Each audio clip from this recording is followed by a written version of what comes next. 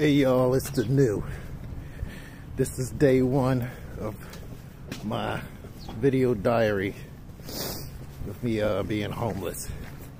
So stay tuned. This is just a test run.